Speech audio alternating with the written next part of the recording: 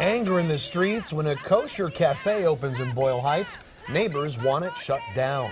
The LAPD kept protesters back as demonstrators shouted at people at the grand opening. And they're not just angry over gentrification, it's the owner's views that also have them riled up. Mm-hmm. KCAL 9's Dave Lopez is live in Boyle Heights with details on the controversy. Dave? Well, standing in front of this cafe, the man who owns this is an immigrant.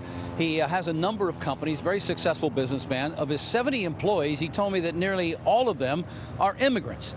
He also said he supports Trump and his immigration policies, and because he posted that, well, that's where all the problems started. So what's the connection? This is what I don't understand. I'm confused. The connection between Donald Trump and a good coffee. 30 years ago, Asher Shalom immigrated from his native Israel to the United States. He told me he cried like a baby when he became a U.S. citizen. And he also said he supports Donald Trump and his immigration policies. And he can't understand why that's so wrong. Everything changed in one day. He was all set for a grand opening of his new kosher cafe in Boyle Heights, not far from downtown Los Angeles. The Boyle Heights Chamber of Commerce had invited him to be a member. They were going to be there to help celebrate. Then he got this email from the chamber president, Jennifer Lahuda, saying that because he posted this on his Facebook page, they called it an anti immigrant posting.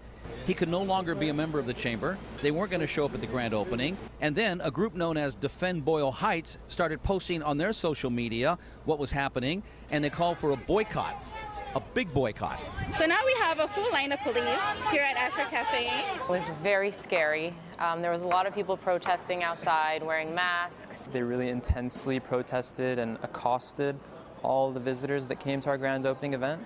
And they threw a significant amount of feces um, at our windows. Shalom says all because he expressed on social media his opinion about Trump and immigrants. I don't think politics should get in the way of good food. I support him in that. I will come and give him my business. This is part of what the chamber wrote to Shalom. Boyle Heights thrives because of our diverse immigrant population. The Chamber will always celebrate and support this fact. We will not support anyone who chooses to conduct themselves in a hateful manner, especially towards members of our community. Nothing true. Shalom is a respected businessman who has been honored by both the city and the county for his generous works. My last name is Shalom, and I love peace.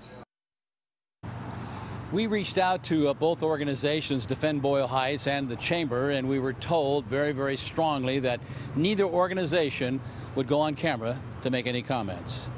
I'm Dave Lopez reporting live in Boyle Heights, KCAL 9 News.